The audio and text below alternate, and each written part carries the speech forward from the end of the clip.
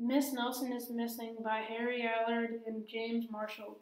The kids in room 207 were misbehaving again. Spitballs talked to the ceiling, paper planes whizzed through the air. They were the worst behaved class in the whole school. Now settle down. Said Miss Nelson in a sweet voice, but the class would not settle down. They whispered and giggled, they squirmed and they made faces. They were even rude during story hour, and they always refused to do their lessons. Something will have to be done.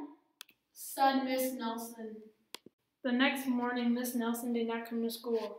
Wow! Yelled the kids. Now we can really act up. They began to make more spitballs and paper planes.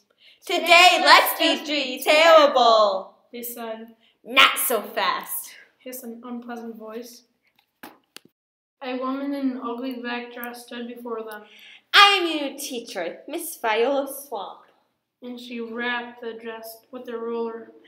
Where is Miss Nelson? Asked the kids. Never mind that. Sat Miss Swamp. Open those arithmetic books. Miss Nelson's kids did as they were told. They could see that Miss Swamp was a real witch. She meant business. Right away, she put them to work, and she loaded them down with homework. We'll have no story hour today. Said Miss Swamp. Keep your mouth shut. Said Miss Swamp. Sit perfectly still. Said Miss Swamp. And if you misbehave, you'll be sorry. Said Miss Swamp. Days went by, and there were no sign of Miss Nelson. The kids missed Miss Nelson. Maybe we should try to find her. They said. Some of them went to the police. Detective McSmogg was assigned to the case. He listened to their story. He scratched his chin. Hmm. He said, Hmm. I think Miss Nelson is missing. McSmogg would not be able to help.